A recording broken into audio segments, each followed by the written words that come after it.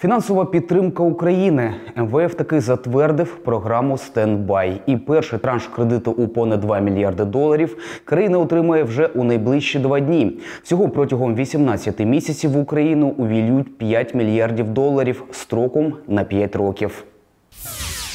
Україна отримає перший транш від МВФ у розмірі 2 мільярди 1 мільйон доларів США. Це на 200 мільйонів більше ніж планувалося спочатку. Нова програма допоможе подолати виклики, спричинені COVID-19. У складний час МВФ доводить, що є надійним партнером.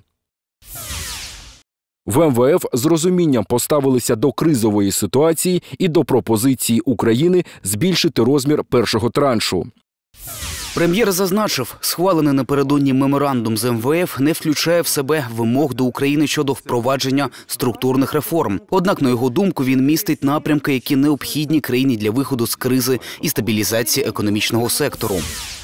Вони доволі прості, але важливі для України. Це боротьба з корупцією, це збалансована політика в бюджетній сфері. Україна як держава зацікавлена у впровадженні цих змін.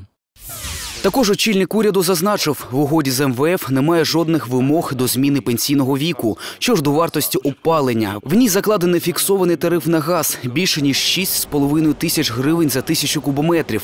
А ринкова ціна на газ вдвічі менша. У Кабміні вважають, ціна на газ для населення має з самого початку бути ринковою. Також за цим траншем МВФ Україна очікує кошти від Світового банку в розмірі 1 мільярда доларів, допомогу від ЄС в розмірі 1,2 мільярда і 500 мільйонів євро. Ми зараз з першим траншем МВФ отримуємо по факту в бюджет понад 3 мільярдів доларів в еквіваленті. Це забезпечить нашу стабільність і дасть нам змогу рівно пройти період коронакризи.